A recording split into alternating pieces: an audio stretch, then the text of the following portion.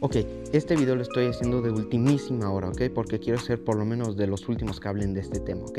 Pero bueno, como sabemos, los actores Elizabeth Olsen y Paul Bettany han dicho que al final de la serie WandaVision iba a aparecer un cambio igual de impactante que Luke Skywalker en The Mandalorian, por lo que hoy revisaremos los posibles personajes que podrían aparecer. Este es el top 10 de los posibles personajes secretos del último capítulo de WandaVision. Ok, en el puesto número 10 están los Cuatro Fantásticos. Estos personajes podrían ser más que nada porque el hijo de la Mujer Invisible y del Hombre Elástico es Franklin Richards, quien fue alumno de Agatha Harkness.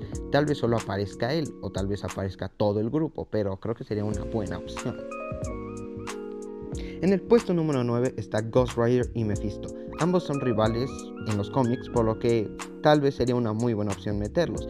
Pero creo que Ghost Rider quedaría algo eliminado ya que acaba de aparecer en Agents of Shield y sería como raro meterlo aquí, pero podría ser. Pero Mephisto creo que él sí debería de aparecer a Wiwi. En el puesto número ah, en el puesto número 8 está Wolverine, quien posiblemente es el X-Men favorito de muchos y el principal en la saga de Fox, que creo que sería un poco complicado encontrar un actor a la altura de Hugh Jackman, pero podría ser, no lo descarto.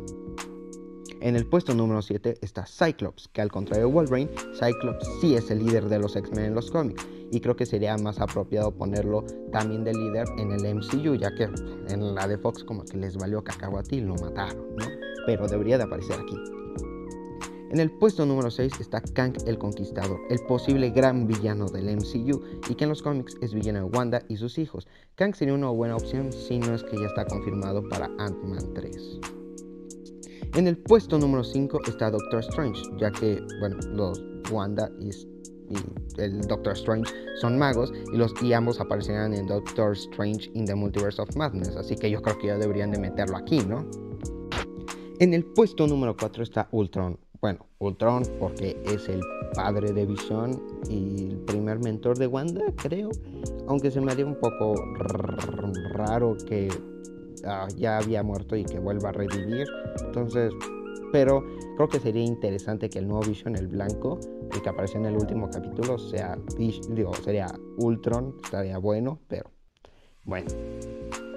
En el puesto número 3 está los Young Avengers, ya que, bueno, Billy Tommy, o bueno, Weekend Speed, o bueno, los hijos de Wanda, son parte de este grupo.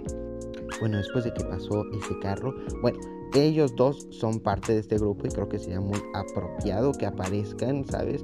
Como una versión mayor o que aparezcan otros integrantes como Iron Lad o Hulkling, podría ser, o todo el grupo. En el puesto número 2 está Polaris, ya que es parte de la familia de Pietro, Wanda y Magneto. Entonces creo que podría ser, aunque se me haría algo raro meter otro integrante joven a la familia. Pero ahora sí, en el número uno, el que creo que sí va a ser y el que debería de ser sería Magneto, ya que bueno, es el padre de Pietro y Wanda, ¿sabes?